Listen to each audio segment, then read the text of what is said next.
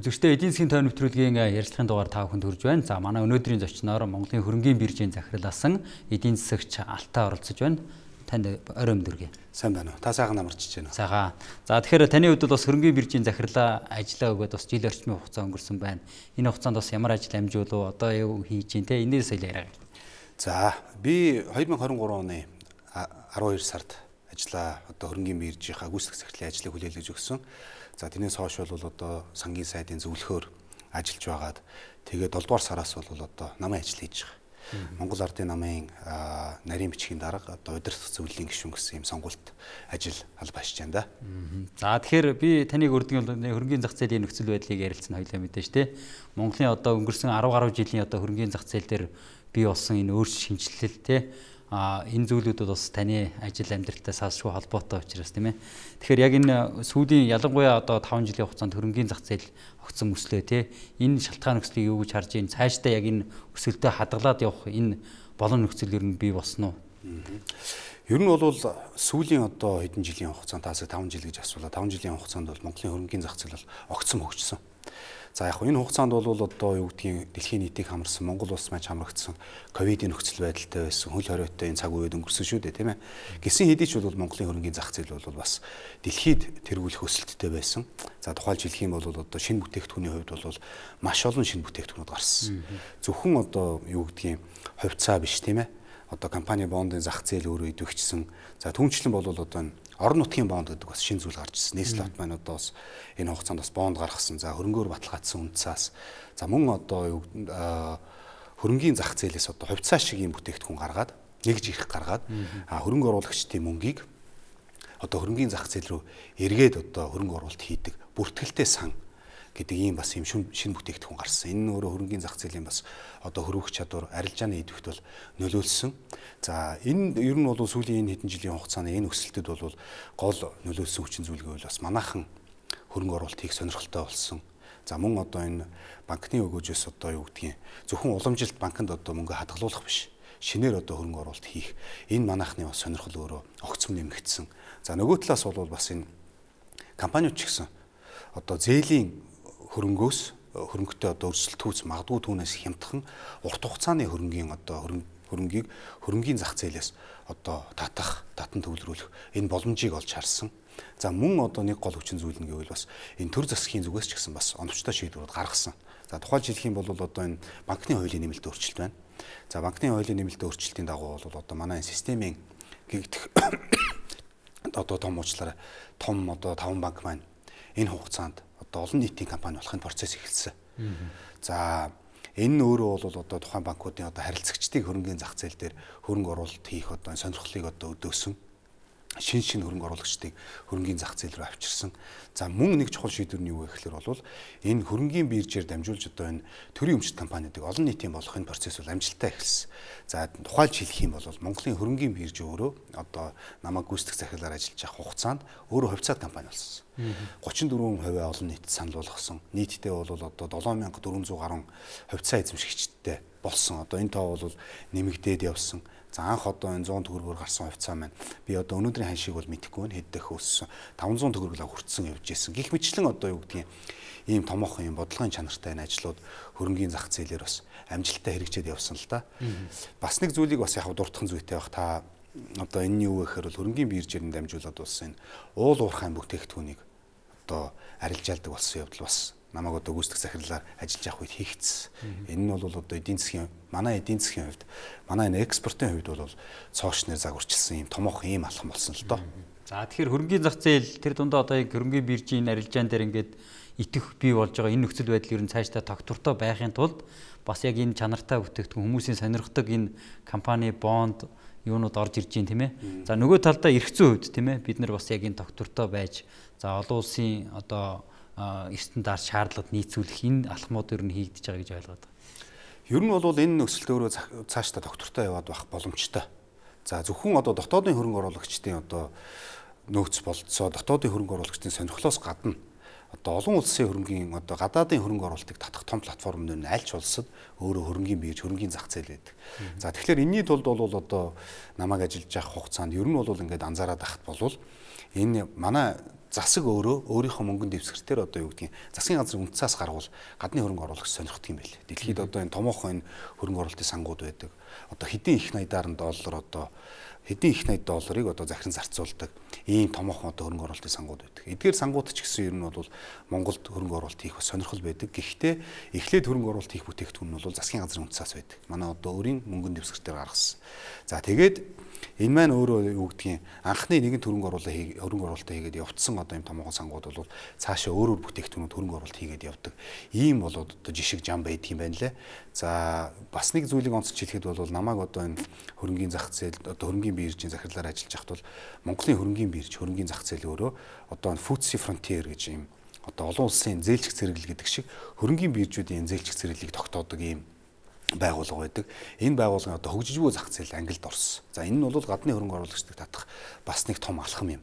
За цаашдаа энэ одоо өсөлтийг бас ингээд доктортой явуулахын тулд бол одоо энэ банкны хуулийн шинжилгээ бид дөрөв ярьсан тийм ээ. Тэгэхээр энэний дагуу ч гэсэн одоо манай банкуд цаашдаа одоо хувьцаагаа нэмж гаргах. За мөн одоо энэ манай энэ Монголын энэ томоохон аж ахуй нэгжүүч гэсэн одоо хувьцаагаа гаргах одоо энэ процесс өөрөө үргэлжлээд явах юм бол энэ процесс өөрөө тэлээд явна. Дотоодын хөрөнгө оруулагчдын сонирхол байна За гадны хөрөнгө оруулагчдыг татах боломж нь байна. Тэгэхээр бол ерөн зүгээр одоо манай хөрөнгөний базаад хэлэхэд бол манай хөрөнгөний зах зээлийн одоо ирээдүй бол гэгээтэй харагдчих. За танд бол ганц нэг одоо тоо хэлэхэд бол 2017 онд 2.4 их найт өргөний одоо зах зээлийн үнэлгээ бүхий одоо ийм хувьцаа хөрөнгөний бирж төр байсан бол одоо өнөөдрийн байдлаар энэ нь бол 12 их найт өргөний зах зээл болсон байна. Үнэлгээ бүхий үнцаас байна. Хөрөнгөний зах зээлийн өсөлт бол асар одоо хурдтай. Энэ тоог харахад л одоо асар хурдтай явж байгаа гэдгийг бас хэлж болохоор байна. Аа. За тэгэхээр хоёул түрүүн цогц турдлаа. Уул уурхаан бүтээгдэхүүний биржийн хууль батлагдаад за уул уурхаан бүтээгдэхүүнийг арилжиж ихэснээр манай гадаад худалдаа эдийн засгтэр бол асар их өөрчлөлт гарсан тийм эерэг өөрчлөлт. Энийг цааш хадгалахын тулд бас одоо эрдэнэ соёлын бүх бүтээгдэхүүнийг биржээр арилжих за төр хувийн хвшил гэлтгүү бас бүх компаниудыг оруулах энэ шаардлага нөхцөл байгаа даа тийм. Энэ дээр бас аж ахуйн нэгжүүд ер нь ямар хандлагатай байна? За уул уурхаан бүтээгдэхүүний биржийн тухай хууль гарсан. За энэ хууль одоо гарахтаа зэрэгцээд Монголын хөрөнгөний биржэр бол Монголын экспортын бүтээгдэхүүнийг бол арилжааж эхэлсэн. За Монголын эдийн засгийн бүтцийг бол та маш сайн мэднэ. Монгол бол одоо цөөн тонны хэдэн бүтээгдэхүүн одоо экспортлдог тийм ээ. Аа ийм одоо улс. За энэ нь бол манай гол одоо валютын нөөцийг бүрдүүлж яадаг, валютын урсгалыг бүрдүүлж яадаг ийм эдийн засгийн тогтолцоотой улс. За тэгэхээр бол энэ уул уурхаан бүтээгдэхүүний бирж гарснаар яасан бэ гэхээр бол энэ манайх одоо Монгол дотооддоо энэ өөр одоо өөрийнхөө экспортын бүтээгдэхүүн үнийг тогтоод үлссэн. Өнөөдөр одоо зөвхөн нүүрс биш тийм ээ. Төмрийн хөдөр арилж алж байна. Зис арилж алж байна. За жон шарилж алж байна. За энэ уул уурхаан бүтээгдэхүүний биржийн тухай хуулиар бол зөвхөн төрийн өмчт компаниуд энэ уул уурхаан одоо бүтээгдэхүүнээ биржээр зарна гэсэн зарахыг бол үүргэжүүлсэн. А хувийн хвшлийн одоо хувийн өмчлөлт байдаг компаниуд дээр бол энийг үүргэжүүлээгүй. А гэтэл бол өнөөдөр одоо Монголын хөрөнгөний биржээр зөвхөн одоо Эрдэнэс 5 толгоо, Эрдэнэт зэрэг одоо Монроос дахны төмөрлөгийн үйлдвэр зэрэг одоо төрийн өмчлөлт компаниудаас гадна одоо MAC, Energy Resource тийм ээ. Одоо юу гэдгийг бусад олон одоо компаниуд Монголын хөрөнгөний биржээр бүтээгдэхүүн арилж алж байгаа гэдэг нь өөрөө энэ зөв зүйтэй шийдвэр байна. Энэ одоо энийг ингээд нэвтрүүлснээр бол манай гол одоо экспортын бүтээгдэхүүнийг үн төрөгж байна. Энэ нь өөрөө одоо дотоодын аж ахуйн нэгжүүд тий ил тод байдлыг хангаж байна. Дотоодын аж ахуйн нэгжүүдийн ч гэсэн одоо юу гэдгийг хүсэл зорилгод бас нийцж байгаа гэсэн гэдгийг бол харуулж байна л да. За танд одоо бас нэг одоо тоо жишээ хэлэхэд бол нийтдээ 34 сая тонн бүтээгдэхүүн одоо сая миний хэлсэн төмрийн хөдөр зэс а одоо зэрэг одоо бүтээгдэхүүн нүүрс тийм ээ бүтээгдэхүүнүүдийг Монголын хөрөнгөний биржээр арилж алаад байна. За энэ энэ нь бол нийт одоо үнийн дүн нь бол бараг 15 их найт төгрөгийн арилжаа бол хийгдчихэд байгаа. 700 гаруй одоо удаагийн ийм арилж байгаа. Энэ нь юу хэлж байна вэ гэхээр энэ нь өөрөө одоо зөв зүйтэй алхам байсан байна. Энэ нь өөрөө ингээд чигдрээ цаашаа явж байгаа.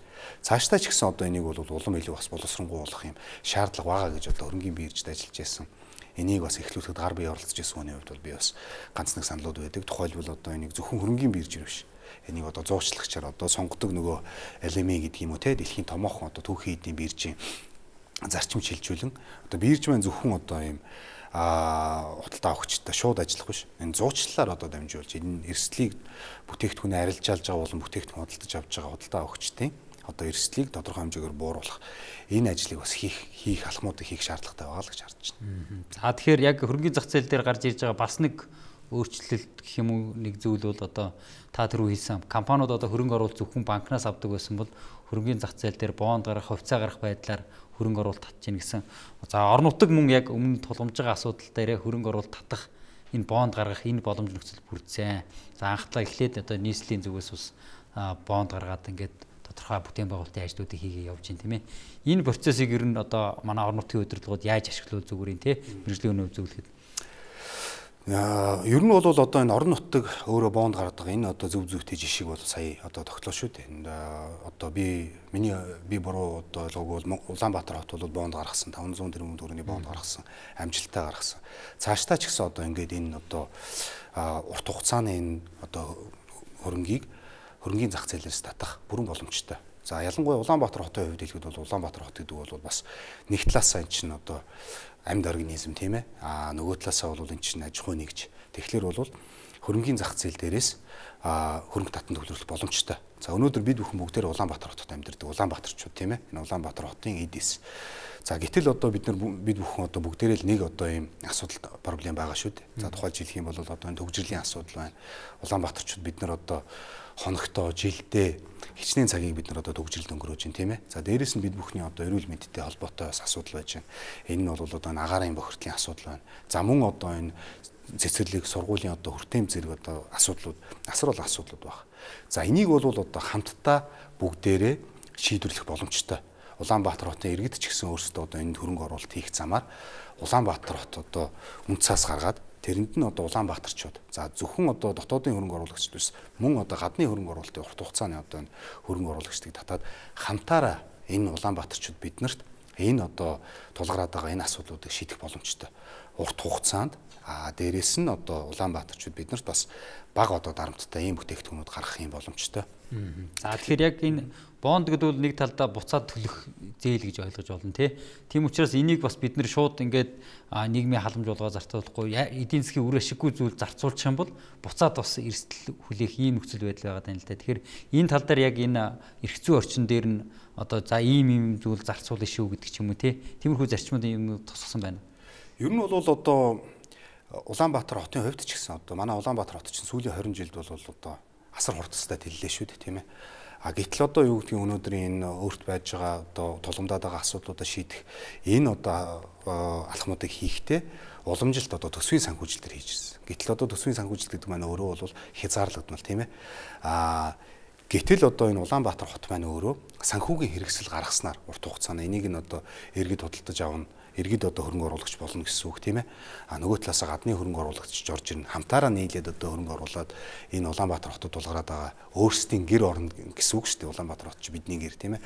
Тулгараад байгаа эдгээр асуудлуудаа хамтаараа шийдэх бас юм боломж нэгж байна. А нөгөө тэгүр энийг одоо юу гэдгийг халамж хэлбэрээр биш. Мэдээж хэрэг эн чинь Улаанбаатар хот маань өөр аж ахуй нэгж өөрөө одоо тодорхой хэмжээнд урт хугацаанд мэдээж ийм орлого олно гэж ингэж төлөвлөсний үндсэн дээр ийм одоо урт хугацааны үнц асуудал гаргана тийм ээ. Тэрийг нэргэд тодолдож аваад эргээд өөрт өгөөчтэйгээр одоо өөрийнхөө асуудлуудыг шийдэх юм бололцоо боломж нэгж ин л гэсэн үг. За тэгэхээр хөрөнгөний зах зээл дээр мэдээж одоо олон өөрчлөлт шинжилт гарч байна. Энэ дээр бас хоёлаа нэг дурдахгүй өнгөрөх зүйл дурдахгүй байж болохгүй нэг зүйл нь бол одоо та ярианы хин гэсэн те оролцогчд нэмэгдсэн гэж те. Бас энэ хөрөнгөний зах зээлийг сонирхоод за э, олон байдлаар төсөөлж байгаа. Магадгүй Эрдэнэс 572 ширхэг хувьцааны ногд ашгаар төсөөлж байгаа хүн байхыг үгүйсэхгүй те.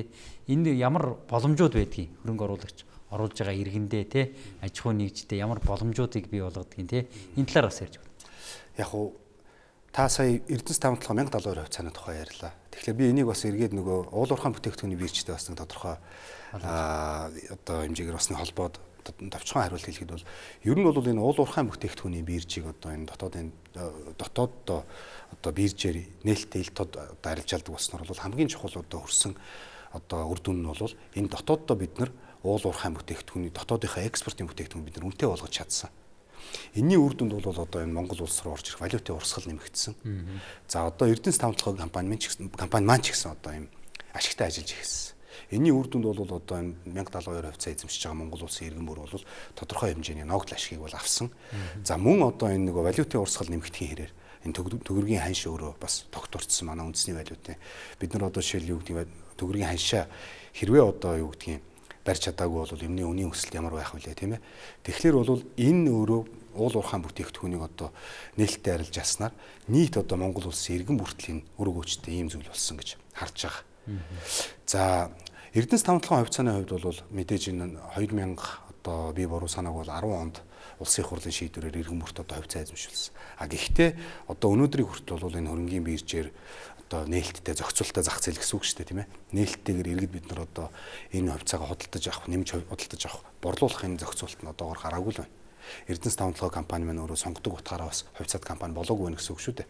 Тэгэхээр энэ алхмуудыг бол цаашдаа бас хийх хэрэгтэй. Энийг хийсэн зөв зүйтэй одоо жишээ жишээлбэл одоо хөрөнгөний бирж 34% олон нийтэд одоо нээлттэй элтод гаргаснаар бол өнөөдөр ямар ахис дэвшлүүд гарч байна тийм ээ. Аа бусад одоо төрийн өмчт компаниуд дээр ч гэсэн бас энэ жишгээр бас бол одоо нээлттэй элтод болох ийм шаардлагатай гэж би бол хувь хүний хувьд боддог. Аа ингэснээр бол вэ гэхээр иргэд маань өөрсдөө хөрөнгөний биржээр дамжуулж хөрөнгө оруулалт хийгээд эдгээр компанийнхаа одоо үр хөөжийг хувьцаагаар дамжуулаад тийм ээ шууд хүртэх бас боломж нэмэгдэх юм а нээгдэх юм а гэсэн. А нөгөө талдаа бол тухайн төрийн өмчт компаниуд маань өөрсдөө зохицуулалтаа зах зээл дээр хувьцаат компани болохоор илүү одоо хяналтанд орно гэсэн хувьцаа эзэмшигчдийн зохицуулах байгууллага юм. Тэгэхээр аль аль талдаа ийм бас үр өгөөчтэй ийм л одоо шийдлэлтэй миний харж байгаа хэрэг. Монголын одоо эдийн засгийн дийлэн хувь нь одоо төрийн өмчт компаниуд бүрдүүлдэг тий Гэтэл одоо энэ төвийн өмчиг компаниудыг задлах талаар бас үе үеийн засгийн газар ярьж ирсэн. За тэгээ яг хэрэгжүүлдэг дээрээ болохоор жилд одоо 4 жилийн циклд ганц хоёр компани одоо 30 хүртэл үе гаргадаг ч юм уу тий. Иймэрхүү байдлаар л яваад байна л да. Тэгэхээр миний бодлоор бол энийг бас яг 50 хүртэл ч юм уу хувийн олон нийтийн болгоод ингээ зөрөгтэй яваад ах юм бол бас илүү үр дүнтэй байх юм болов. За гэвч нөгөө талд нь биднэрт яг энэ томоохон компаниудын хувьцааг ингэж гаргах зах зээл маань бас байна уугүй юу гэдэг дээр бас зарим хүмүүс ирэлцээд байдаг шүү. За тэгэхээр би хувь хүний хувьд бол өөртөө чинь санал нэг нэг байдаг. Энэ юу гэхээр бол энэ төрийн өмчт компаниудыг бол олон нийтийн болгох хэрэгтэй. Одоо энэ өмчлийн задлана гэдэг нь одоо аль нэгэн одоо нэг хувь хүнд ч юм уу те нэг компани өгөх биш энийг нээлттэйгээр хөрөнгөний биржээр одоо иргэн бүрдээ одоо боломж олгосон байдлаар олон нийтийн болох энэ нь бол зөв зүйтэй алхам. За нөгөө төгөр зах зээлийн багтаамж байна гэж тийм ээ. Тэгэхээр бол дотоодын хөрөнгө оруулагчдын одоо хувьд бол энэ хөрөнгө оруулалт хийх асар өндөр сонирхолтой байна гэдэг нь бол энэ банкны шинжил, энэ сүүлийн үеийн зах зээлийн одоо энэ идэвхжил бол харуулж байна.